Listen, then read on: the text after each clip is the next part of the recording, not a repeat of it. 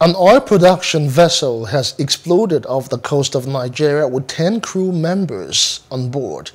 In a statement released on Thursday, Nigeria's Shebah Exploration and Production Company Limited SEPCO said that flames had engulfed the Trinity Spirit floating production, storage and offloading vessel following the blast a day earlier.